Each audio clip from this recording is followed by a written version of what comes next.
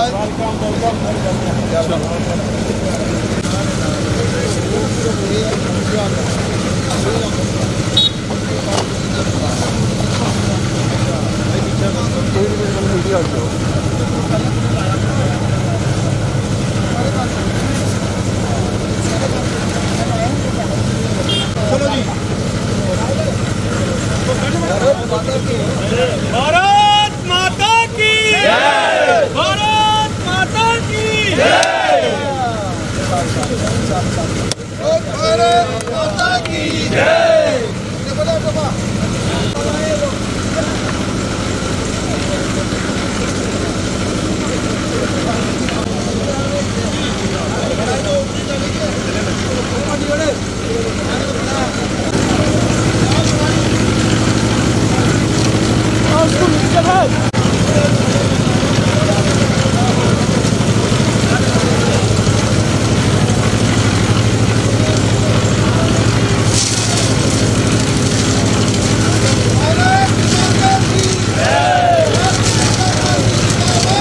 जिस तरह से आज यहाँ पे काम शुरू हुआ क्या कहना चाहेंगे सामाजिक कार्य ऐसा है देखिए ये वार्ड नंबर बारह है और जहाँ के हमारे कारपोरेटर हैं जीत अंगराल जी।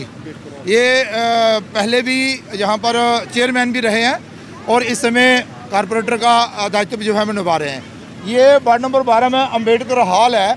यहाँ पर पहले से हमने एक हॉल बना रखा है जिसमें बतौर सांसद हमने पैसा दिया और बतौर M L A Sharma ji ने पैसा दिया है। लेकिन ज़रूरत को देखते हुए अभी और पैसा जो है वो जीत अंगराल साहब ने म्यूनसिपल कॉरपोरेशन से लाया है, साठ लाख रुपया। तो साठ लाख रुपए की लागत से ये जो अंबेडकर हॉल जो है, ये बन रहा है और आपने देखा कि इसका आज हमने स्लैब का काम जो है वो शुरू करवाया है। बहुत ही ज़रूरत थी इस क्षेत्र में ताकि ये जो लोग परेशानियों का सामना ना करें और इनको हर सुविधा जहाँ पर मिले। बात करें, अमरनाथ यात्रा की, अमरनाथ यात्रा स्टार्ट हो रही है। केंद्रीय प्रशासन और यूपी प्रशासन की तरफ़ से किस तरह की तैयारियाँ चल रही हैं? बहुत अच्छी तैयारियाँ चल रही हैं। आपने देखा होगा कि भाई जम्मू कश्मीर में अमरनाथ यात्रा को देखते हुए सारे जो बंदोबस्त हैं, वो कर लिए गए हैं।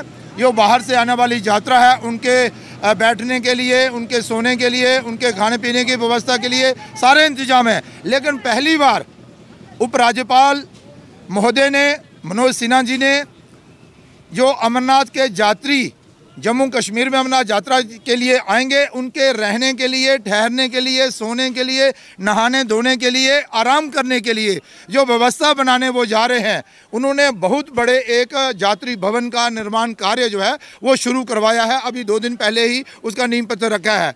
तो वो जल्द ही बन वो भी बनकर तैयार हो जाएगा लेकिन बहुत अच्छे प्रबंध जो हैं वो अमरनाथ यात्रा को लेकर किए गए। सुरक्षा की बात करें जिस तरह से कश्मीर में पिछले दिनों लगातार टारगेट किलिंग होती रही नॉन मुस्लिम्स को मारा, गया अ, हम बात करें सिक्योरिटी की तो सिक्योरिटी के किस तरह के इंतज़ाम अभी किए जा रहे हैं अमरनाथ यात्रा को लेकर? देखिए हमारे सुरक्षा बल सक्षम है। इन सब चीज़ों को लेकर और ये चुनौतियों का सामना हम पहले भी करते आए हैं और आगे भी करेंगे। लेकिन निश्चिंत रहें अमरनाथ यात्रा जो है बड़े सौहार्दपूर्ण भाव माहौल में होगी और सुरक्षा के सारे बंदोबस्त जो है किए गए हैं यात्रियों को कोई इसकी परेशानी जो है वो नहीं होगी।